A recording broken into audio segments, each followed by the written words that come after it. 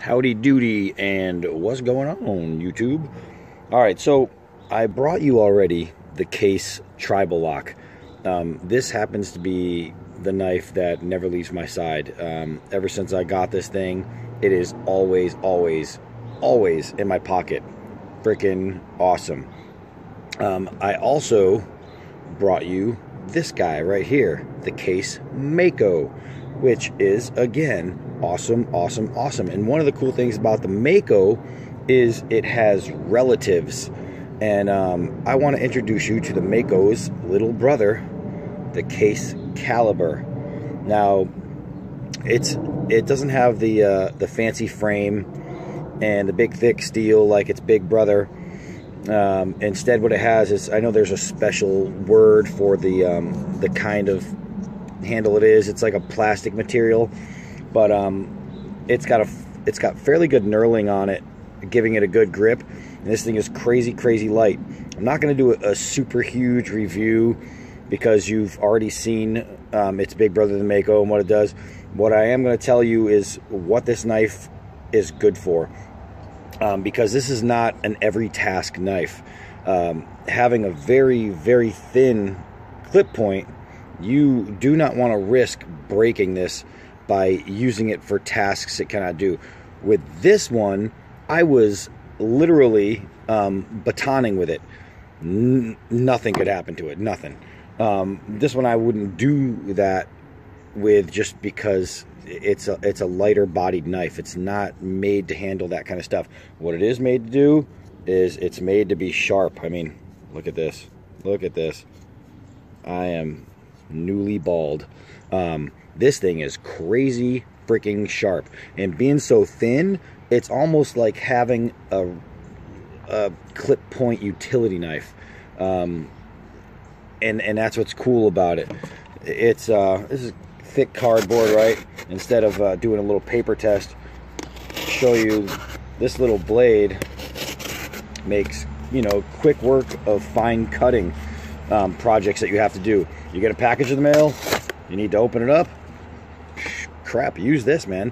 This is going to um, this is going to get any cutting job done that you need to do like that. If, if you need to pare a pear, you know, slice an apple, this thing is exactly that kind of knife.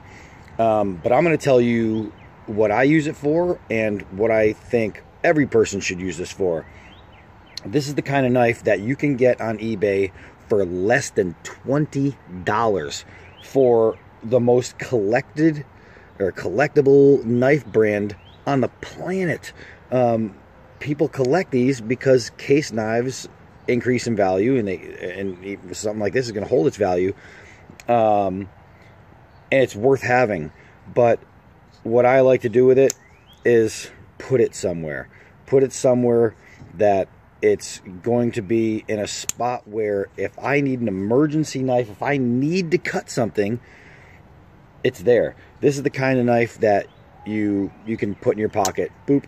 If you have a, a you know a belt knife or something, this is a great backup blade. Um, this is something that you put in your go bag. This is something that you put in your camping bag or your hiking bag. This is something that you put in your CamelBak. Um, this is something that you just throw somewhere in your car. You could put it because nobody smokes anymore. It's bad for you. You put it in your old ashtray. What are you using that thing for anyway? Um, this is a uh, a backup type cutting knife um, that is basically something that you want to take and you want to put somewhere, knowing that if you need an edge, you have one that's going to get the job done. This is not a beat on it knife. Understand that. But we're still going to do a couple things. So let's go have some fun.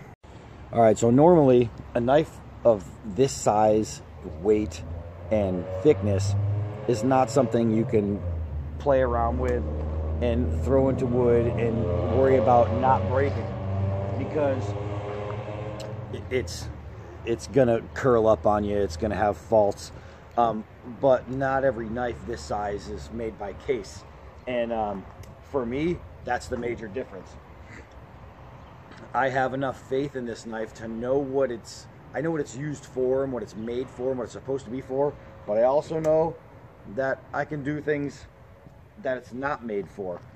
Um, being an emergency cutter doesn't mean it's only going to cut in an emergency. I mean, if I need to pare wood, I mean, this thing, it's just so sharp and so easy to use. I mean, look at the little wood chips. I think you can see that just flying off of there. Oh my gosh, I need to make a fire. I need some feather sticking. Well, guess what? This is like one of the best knives you can use. Uh, they're all falling off. They're so thin. Um, best knives you could use for feather sticking because the blade is razor-esque. Um, you can use it for notching. You can use it for um, skinning. Oh, I mean, it's just so fine to be able to take off those little points. If I wanted to notch with it, just use a nice little thumb grip, get it in there, pull that out. I'll even do one on the other side here. And so basically what we're to do is, so you guys paying attention? Are you am I in that shot? Yeah, we're in the shot. So here we go. If you're a, um, a camper, hiker, anybody uses tent posts or, or anything like that, um, or tent spikes, you know, you know the need for a really good notching knife. This thing is a good notching. I'm a Harley guy. When I hear that, ee, ee, ee, oh my god, it drives me crazy. Um, I hate it.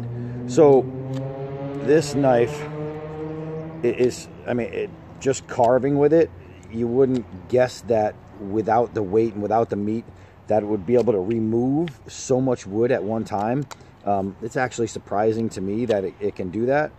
But man, I can end up with this knife making a tip out of a piece of wood that's stronger than most people's knives. You know, that it's a serious little carver. Um, again, even with it with the capabilities it has, I'm still taking this thing and I'm putting it in my car or my go bag, or I'm carrying it as a um, as a as a second carry. You know, a carry along. Um, the knife is the knife is great. It's just a, a really really good knife. Lock holds up, banging it against there. The tip holds up. What is that even? Yeah, that was in frame. Um, but it's it's typical case. Um, and it's it has a typical case style dura durability. All the nice little sticky sap on there, um, and it's um, it's not an ugly knife. It's not a crazy attractive knife. You're not going to look at that and go, oh my God, that case caliber is beautiful. No, it's not. But you're not going to also look at it and go, you know, um, because it, it, it is what it is. You know, it's just a nice little black handled knife, you know, with a, with a silver stainless steel blade.